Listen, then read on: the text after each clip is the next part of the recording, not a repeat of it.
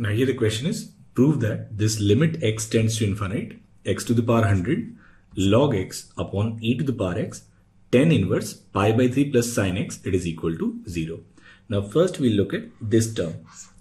Now this is tan inverse of pi by 3 plus sine x. Now we know that value of sine x lies between minus 1 and plus 1 and if we add pi by 3 to it so we'll get pi by 3 minus 1 will be less than or equal to pi by 3 plus sine x and will be less than pi by 3 plus 1. Now this is greater than 0. This value when x tends to infinite will be an oscillating value. So this value is non-zero and oscillating. Now we know that when x is greater than 0, log x is less than x.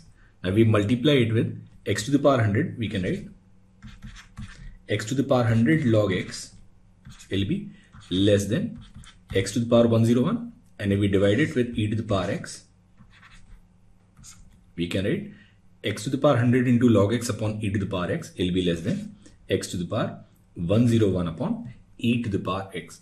Now we look at this limit which is limit x tends to infinite x to the power 100 log x upon e to the power x tan inverse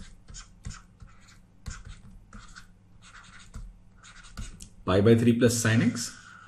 Now every expression in this function is positive so this limit will be greater than 0 and will be less than this limit x tends to infinite x to the power 101 upon e to the power x and we have an oscillating non-zero value say c. Now this is infinity upon infinity form. Now we differentiate this 101 times we'll get this as limit x tends to infinite